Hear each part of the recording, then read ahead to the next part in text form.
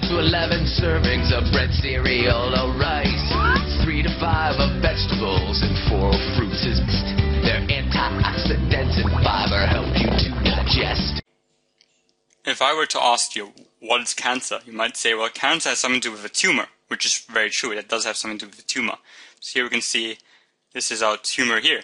The, the tumor itself is usually called the last stage. So in this case, it says there's four basic steps of cancer, and having that tumor is the last stage, stage D. What does it start with? Well, before stage A comes around, there's actually something called a cell mutation. So, a genetic mutation, which causes this cancer in the first place. And this is what we're going to talk about today. What the genetic mutation does, and why we need to keep our genes healthy to make sure that our body is maintained at its normal functions. So dot point says students will use available evidence to analyze the links between gene expression and maintenance of, and repair of body tissue. So here in this case, there was obviously the genes weren't maintained, which meant that health itself became bad because disease itself came. What we'll talk about now is what gene expression is. The dot point says gene expression, so we need to go over what that is and how it helps us to actually maintain health itself. So this here is what gene expression is, and just imagine this whole squiggly lines, all of these, were our DNA. So this is our DNA right here. And within DNA, DNA is basically made up of these you know, A, C, G, and C, these A, C, G, and T, these bases. And you can imagine this whole string is made up of lots of these, billions of these, these bases here. And these small dots that have highlighted in different colors are meant to be our genes. And if you watched last video, you know that genes code for proteins. So each of these genes make a protein. And there's only certain sections of our whole DNA that actually code for these proteins. So they're called the genes. Now they can be switched on, or they can be switched off. Switched on or switched off. And let's say one of these genes, let's take this gene here for example, let's say we switched it on. What does that mean? Well, if it's switched on, so we've switched it on, what that means it's actually going to be replicated. So here, it's going to be copied. You're going to have a mRNA come in, copy this, and leave and make a protein. So now a protein is being made. So if the actual gene is switched on, that means that it's going to be actually making a protein, the protein that it usually codes for, the polypeptide it usually codes for. That means we're going to have this protein. Whereas if it's switched off, that means this wouldn't happen, and no protein would be made. That's the difference between switched off and switched on.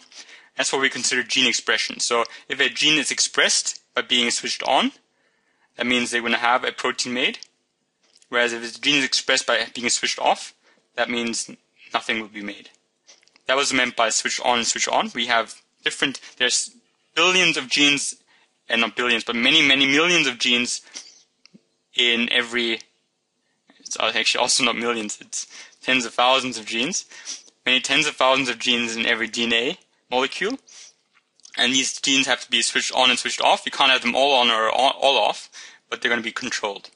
Now, what happens if, for example, these oncogenes, this, these three different ones I'm going to cover in this dot point, because they're actually quite important when it comes to cancer. There's something called the oncogenes, the tumor suppressor genes, and the DNA repair genes. Now, these oncogenes, they make cells divide rapidly. So they make cells divide faster. So you might be able to read that. So in a normal cell, we're going to have the oncogenes expressed when the cell wants to divide. So when it wants to divide, it will make these, switch these on. That means the actual cell will divide faster. So when it wants to divide, it will switch them on, but when it doesn't want to divide, it's going to be switched off. So it's going to be switched off if it doesn't want to divide. And in cancer, basically the switch off mechanism is doesn't exist anymore. It's always going to be on, which means they just replicate like crazy.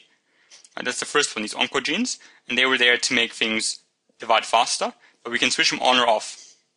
The other one were the, were the tumor suppressor genes. So there's two main parts that they can do. First of all, they can actually slow down division, slow down division, or they can signal cell death. So they can signal cell death. And again, like with the other one, we can either switch them on or we can switch them off. when might we want to have them on? So when we have them on, it means cell division itself might slow down. And for example, if there's a problem in our DNA, we're going to make sure we repair the DNA before it gets divided. And we switch on our tumor suppressor genes. That slows down the division.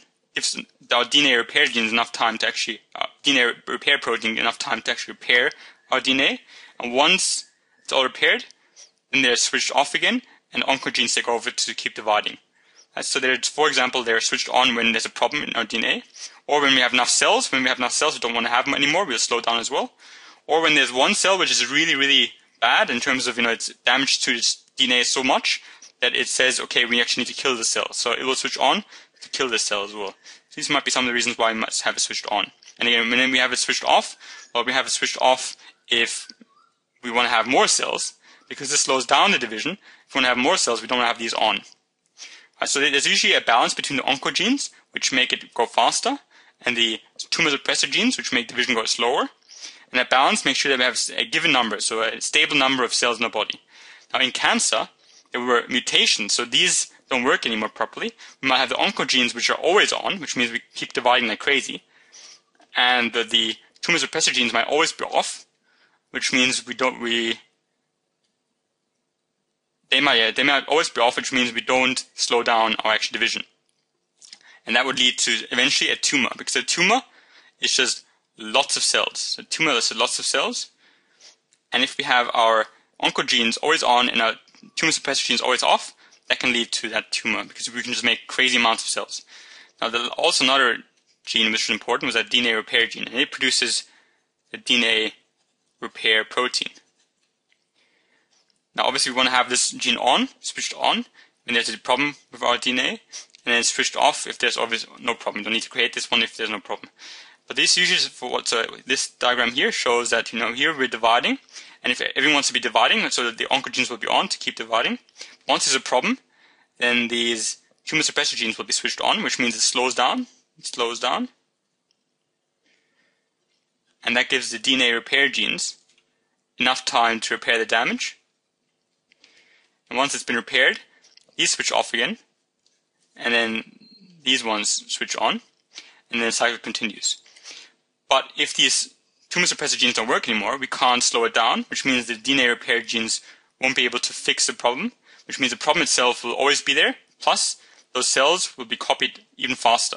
So we're going to have cells which have a malfunction or a problem that keep dividing, so they keep dividing.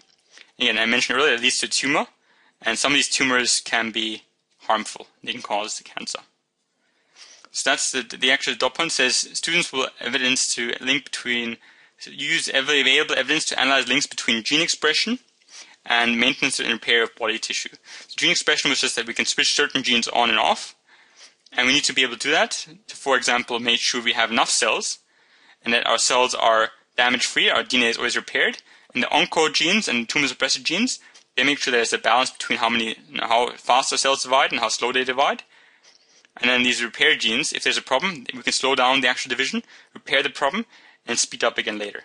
But if these are out of control, that means cancer will develop, as an example. I hope that was useful. Thank you for watching.